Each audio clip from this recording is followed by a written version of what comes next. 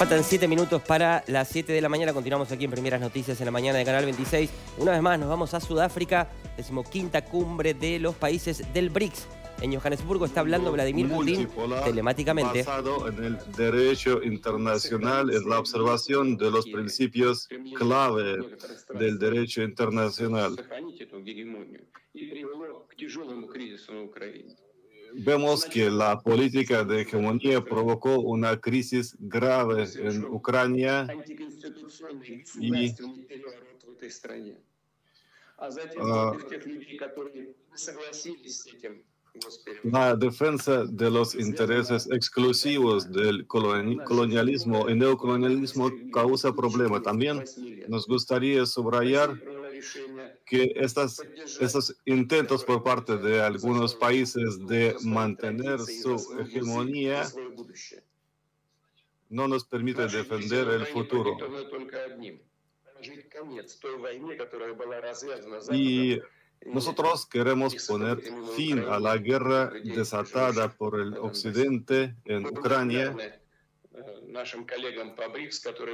y les agradecemos mucho a nuestros colegas de BRICS su participación activa para llegar a una resolución justa del conflicto en Ucrania. Estimados colegas,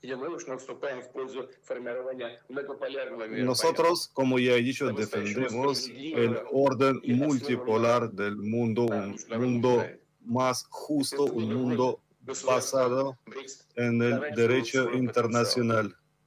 Los estados de BRICS van aprovechando su potencial, como ya se ha dicho antes, es un bloque en el que viven 3.5 mil millones de personas. Y en la década pasada las inversiones de BRICS en la economía global se duplicaron y las exportaciones eh, globales representan una parte importante de las exportaciones internacionales. Vamos buscando cumplir con los objetivos propuestos hasta el año 2025.